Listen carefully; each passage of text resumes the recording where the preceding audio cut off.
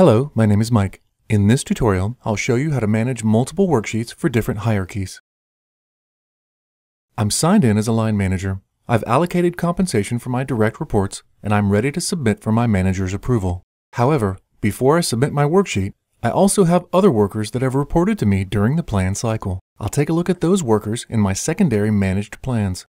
In a secondary managed plan, I don't have access to the same tasks I do with my primary plans. For example, I can't access the communication task because that's for the primary manager. I also don't have the ability to see reports or use models.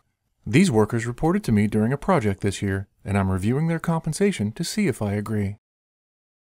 Stacy was an exceptional worker on the project, so I want her to get a merit increase. I'm fine with the allocation given to James, so I can save and close this worksheet. I also have a few workers that used to report to me but have transferred to other teams. Their new managers have reassigned them to me to allow me to review their allocations.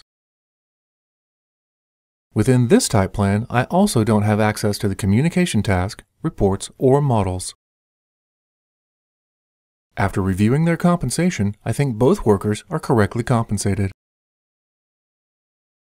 Now that I've finished allocating and reviewing compensation for my reports, I'm ready to submit my worksheet.